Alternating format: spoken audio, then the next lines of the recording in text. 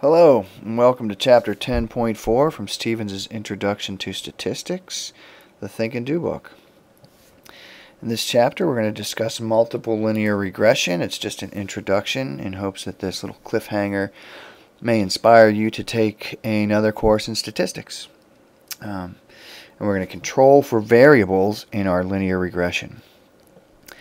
And the whole motivation for this is that, um, let's see, in the, in the, in the previous section, we made a statement, actually from section 10.2. We said correlation does not prove cause and effect, right? We made that very clear. We said doesn't mean there isn't cause and effect, but correlation doesn't prove it. But isn't that really what we want to know? Don't we want to know how the world works? I mean, you know, random patterns and associations and, and significant correlations, those are all well and good, but I want to know how things work. I want to know what causes something else to change, right? And one of the ways to help um, obtain this cause and effect relationship is through um, controlling for a variable in my um, linear regression. And when I say controlling for a variable, I mean I'm actually going to include other variables. So instead of having just say the one variable where we did um, you know cricket chirps and temperature, we might have uh, you know another variable in there, cricket chirps, temperature, um, time of night or something like that. Right, so we can include other variables. That's what we mean by controlling for variables. It may sound like we're actually reducing our sample size so that all all measurements were taken at a certain time or the variables, you know, the, the, the, sample, the items in the sample are all the same, but that's not necessarily the case. Can, when you control for a variable, you actually just introduce it into your model. So here's an example where we will we will do that eventually. We don't start there. We start with this. Preliminary example, incumbent campaign spending. So what we have here is a list of 15 elections where incumbents were involved. Incumbent is where the person holding the position is also um, trying to win the election for that position the, the, for the following term. So there's 15 of them. And in the first column, we have the campaign expenditures in thousands of dollars. So this shows a campaign expenditure of seventy thousand, seventy point six seven thousand dollars, right? And then the second column gives the incumbent's performance in terms of the percentage of votes, right? And so if you take this data and put it in a scatter plot right here, we'll put the expenditures down here because it's commonly believed that um, campaign expenditures cause changes in the um, outcome, right? So we'll put that down here, expenditures, and we'll put the performance in terms of percent votes on the y-axis. And what you'll notice right away is that it is a decreasing relationship. And if you get the correlation coefficient, you get a negative 0.611. And if you look at number for 15 for sample size, what you'll see is you have to beat 0.514. So this relationship is, the correlation is indeed significant. Right?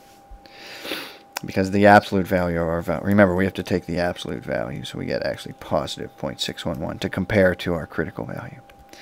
So we have a significant negative correlation between incumbent campaign expenditures and how well they do in the election. So that sort of is counterintuitive, right? We always thought that the more money you spend, the better you do. But in this case, looks like the more money you spend, the worse you do. And in fact, if you look at the slope, negative 0.2, what this says is that for every extra $1,000 an incumbent spends on the campaign, he or she can expect to lose 0.2 percentage points.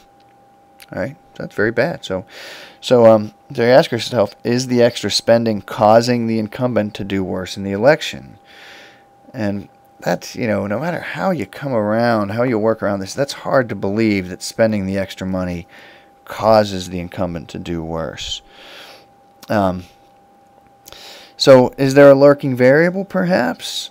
And if we play around and think about lurking variables, the, for, as far as an incumbent's reelection goes, probably the number one factor is how well he or she did in their first term, right?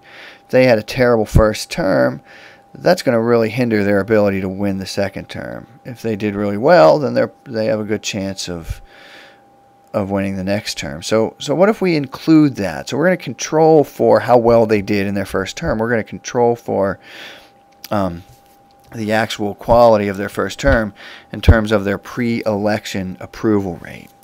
So that's on the next page. So now we have two independent or causative variables. We have the incumbent's pre-election approval rate. We have their campaign expenditures, just like we had before. And then we have the performance of how they did in the election. And so what this first one shows is that the higher the pre-election approval, the less they spend on their campaign, which makes sense. If you're doing really well and everyone likes you, you don't have to spend as much on your campaign. So that, and that is in fact a significant correlation if you check in the back of the book. So we have a significant correlation there that makes perfectly good sense. And then if you look here at our second scatter plot, it says the higher the pre-election approval rating, right, the better the incumbent does in the election, which also makes perfectly good sense. The world is starting to make sense again here, right? And in fact, if you look at R, that's 0.980. That's a significant positive correlation. So really, it's the pre-election approval rating that we were missing in our last analysis when we just compared. Because in the last comparison, all we had was campaign expenditures and incumbent performance. And basically, what it showed was that the more they spent on a campaign, the worse they did. But that actually makes perfectly good sense when you bring in the pre-election approval rating because the lower campaign expenditures was a was caused by doing well in the pre-election approval rating, which then also caused an increase in the um, performance in the election, right? So suddenly the world makes more sense. We include some variables, we control for variables by including the pre-election approval rating in our model, and things come out to have a little more meaning.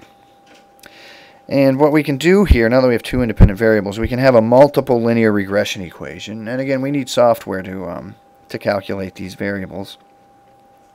But what it says is the percent votes in the election, all right, is equal to 0.8, that's one slope, times the approval current approval rating, plus 0.10 times the spending plus the um, intercept, right?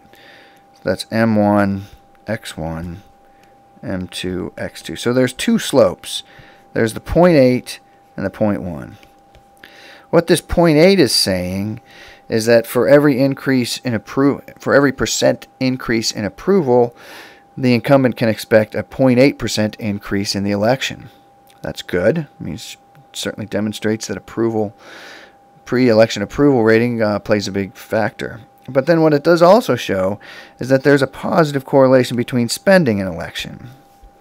Right? What that says is that for every extra $1,000 spent, the incumbent can expect 0.1 of a percentage point increase. So it's not a very, it's not a big increase, but at least it's positive. It makes sense. If you're going to spend more money on your election, that should help in some sense, and what it, in some way. And, and what this says is that it does, but it's not nearly as important as the approval rating. Right? So suddenly the cause and effect makes much more sense. It all fits together nicely, but we needed to control for that variable of pre-election uh, campaign spending. And this is called multivariable um, regression, multivariable correlation, and it would be in a, in a second course in statistics. Um, and so hopefully this has inspired you to maybe consider taking such a second course.